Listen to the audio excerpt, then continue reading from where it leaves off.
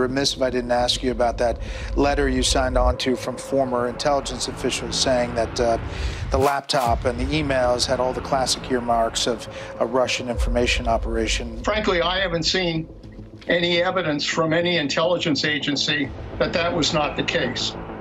You don't think that it, it was real?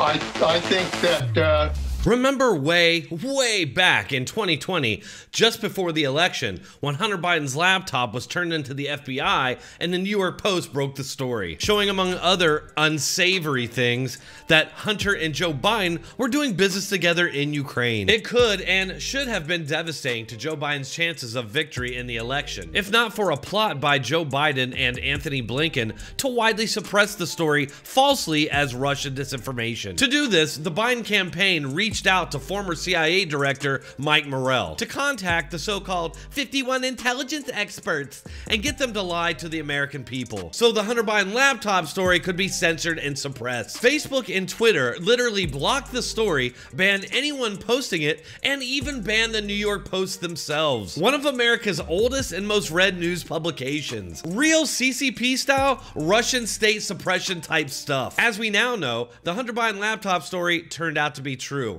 and you can never unsee just how corrupt and tyrannical our government has become. Well, today I'm going to show you one of the architects of this scheme to interfere in the 2020 election on Fox News, saying that not only does he have no regrets for lying, but that he actually thinks the laptop story is still Russian disinformation. Yes, really. But they're investigating still uh, the Hunter Biden situation. I'd be remiss if I didn't ask you about that letter you signed on to from former intelligence officials saying that uh, the laptop and the emails had all the classic earmarks of a Russian information operation. Obviously, the New York Post and others saying the Hunter Biden laptop letter was the real disinformation all along. Um, that letter was used in the debate. I haven't asked you this. But do you have regrets about that now looking back, knowing what you know now? Well, you know, Bret, look, I, I was extremely concerned about uh, Russian uh, interference uh, and misinformation. And, and, we all know it. Intelligence agencies discovered that Russia had uh, continued to uh, push uh, disinformation across the board. Uh, and my concern was to kind of alert the public uh, to be aware that these disinformation efforts went on. I'm sorry, what the did you just say to me right now? This is unreal. The only disinformation that was spread came from Leon Panetta and his 50 traitorous cohorts. Not to mention the four years worth of actual Russian disinformation that was spread around the country by our government and our media in an attempt to undo the 2016 election results in the form of the Russian collusion scheme. I get the feeling that's what all of this is about. They never got over the 2016 election loss and they blame Russia. They hate Russia, which is why they brought us to the brink of nuclear war over it. Uh, and frankly, I haven't seen any evidence from any intelligence agency that that was not the case. You don't think that it, it was real?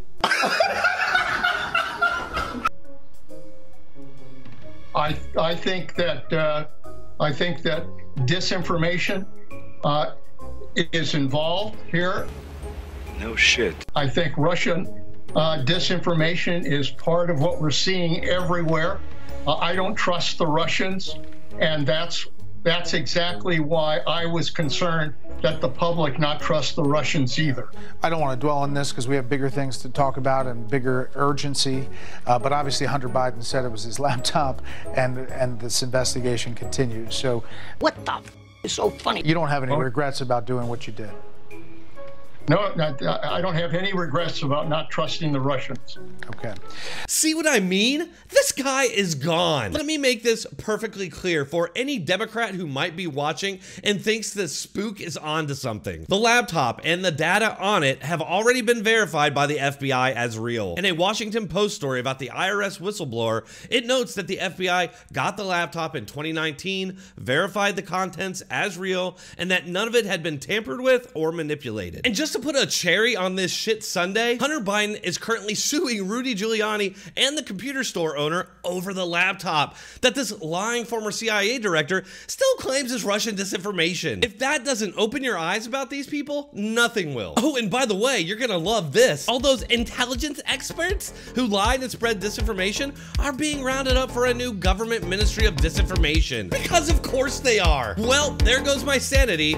Thanks for watching. Make sure to check back tomorrow for another one.